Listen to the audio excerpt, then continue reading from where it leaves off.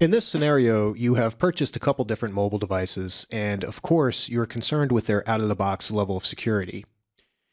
You've been tasked with implementing some basic security measures on your devices. There's a couple security measures you might implement on a mobile device. They include configuring screen locks, and within screen locks, you might utilize a password, a PIN, or a gesture. But also to secure your mobile device, you'll want to install and configure antivirus software. You might want to disable wireless or GPS either temporarily or permanently. You may want to use encryption and possibly install and configure backup and remote wipe programs. I want to show how to work with the uh, screen lock and also the GPS options on Android. So let's do that now. And I have my Android system running here right now. This is an Android smartphone. Uh, it's running Android OS version 4.11. Operating systems like these are constantly being updated, but the steps we take here will most likely be similar on newer versions of Android. So the first thing is to show screen lock, and I want to use the pin option. So what we're going to do here is we're going to swipe down from the top to bring up the notification screen. Then we're going to go to settings and we're going to go down to security. And if you have to scroll down in your system, you might need to do that. We're going to tap on security. And at the top here, we see screen lock. Right now, it's set to none.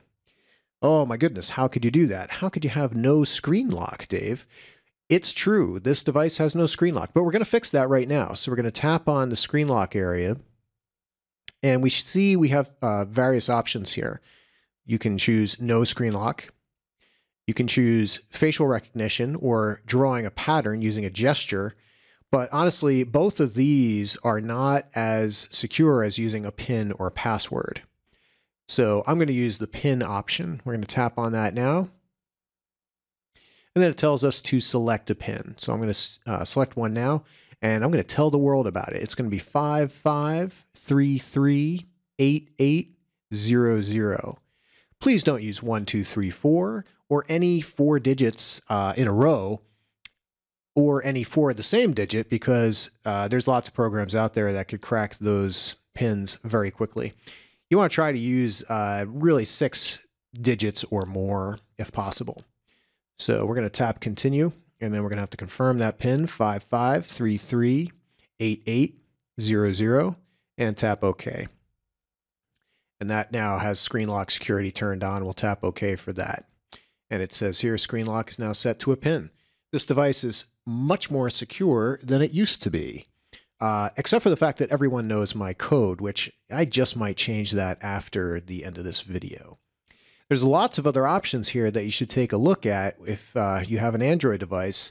For example, set up the SIM card lock and also make passwords visible. We don't want that. That's on some devices, that's checkmarked by default. So you may want to check that. And lots of good security options here for you to check. But that was the screen lock. Now let's move on to GPS. We want to disable it. So I'm going to go back one screen to the main settings screen and we want to go to location. So we'll tap on that. And what we want to do is remove or disable the first two options, Google's location service. So we'll tap that guy and also GPS satellites. At this point, for all intents and purposes, this device cannot be tracked. And that's the key here. You may say, well, I lose functionality when I turn off GPS, but there are many people in organizations and companies that have confidential information on their device and they would rather turn off GPS so they're not tracked, so no one knows where they are uh, when they're moving about the country or what have you. So there's a loss in functionality, but there's a gain in security. That's going to depend on, you know, really what the scenario is and what the policy for the company is as well. So one other thing here, um, we mentioned antivirus software. This particular device comes with application scanning, and it's a program called Lookout. So what I'm going to do is I'm going to go back to the home screen, and we're going to go to the uh, applications area. And here we have Lookout Security. I'm going to tap on that now. And by default, it just scans applications. To see this, we'll click here on the menu on the upper right hand side. I should say tap here, excuse me. And we'll go down to auto scan. Now you can see here it says the system is set up by default for automatic app scanning. So whenever you start the device or if you download an app, it'll get scanned by the Lookout program, make sure it's uh, good to go without any malware. And then also the device will check your apps every week if you have it check marked. So that's a good deal. Um, it's a good program to have. At least your applications get checked. If you want to have full malware protection, then you want to go with the advanced security. That'll stop lots of different types of malware, including the viruses, worms, trojans, and so on. Um, and then you would just, to do that, you would just activate the Lookout program. And I believe at the time of recording of this video, at the time of this video, it's $3 a month or somewhere about that. Now, that's a good deal for one device. It may not be the best solution for lots of devices, and you might go with another third party offering in a larger company. Uh, we mentioned the GinMaster Trojan, which can steal confidential information from an Android device and send it out to a remote website. If we use this Lookout app and activate the uh, advanced security, uh, that type of Trojan will be blocked. At least it's supposed to be. So I haven't tested it, but it should be and other Trojans like it so people can't take control of your device and control of your data. Okay, moving on, I have a uh, iPad here with iOS 7 running, so we'll show how to enable the screen lock with the pin option and disable GPS just like we did on the Android device. And what we want to do is we want we're at the home screen here and we want to go to settings, so we'll tap on that. Then we want to go to the general option Tap on General now. And here we want to swipe up a little bit till we get to the passcode lock. That's the option we want. So we'll go to passcode lock, tap that now. And we want to turn the passcode on. And they use four digit numbers for this. So we'll tap on turn passcode on now. And we'll enter a uh, passcode. And let's do uh, 5380 and then re-enter that passcode and that sets the code for us. If we want to disable it later, we would just select turn passcode off and it would ask us for the code before we could go ahead and do that. But uh, pretty easy stuff. So we want to make sure you have some type of passcode or something for your device. All right, the other thing we want to show here is how to disable GPS and any location options. And we're going to do that from the privacy section. So if we tap on privacy down here, You'll see we have the location services at the top, and we're going to tap on that. And right now, location services is on, so we would want to just swipe that little button to turn it off. And now the device cannot be found uh, by crowdsourced Wi Fi hotspots or anything GPS related.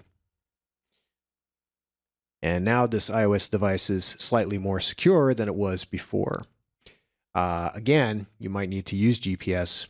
Uh, that all depends on uh, your company policy or your personal preferences, uh, depending on where the device is being used. So many people are bringing their Apple and Android devices into work as part of a BYOD solution that uh, you might have to go with the company policy. You might have to actually turn off GPS.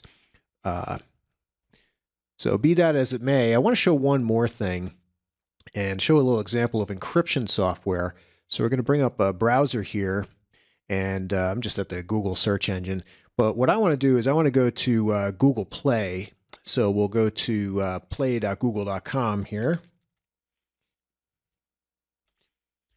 And that brings us to the Google Play Store.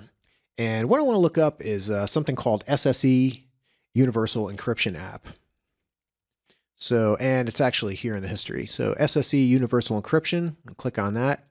And this is the guy I want. SSE Universal Universal Encryption app. This is a decent encryption program that you can download and install. Uh, I like to look at the descriptions of these and also look at the uh, reviews before I ever install any apps. and try it on a test device first, especially if you're a security admin in a company. Definitely do it on some test devices first before you implement it, of course. But uh, it's got all kinds of stuff as far as uh, encryption of passwords, of text files, any files on your device. You can secure just about anything private and confidential that you need to. And it uses AES 256 bit. Good deal. This is just one example of many encryption apps that you can download. Some are free, some cost a little bit of money, and uh, there's lots of options out there. So you should do some research and find an encryption program that works good for you if your company requires encryption on mobile devices. Okay, that's about it. Let's wrap it up. These are just a few examples of how to secure a mobile device. Pretty basic lab. Other methods, such as lockout programs, remote wipe programs, and strong wireless security, can be very helpful as well. And of course, the onus is really on the user. In depth user training can help to fend off some of the worst malware that's out there. So that's about it for this lab, and thanks for watching.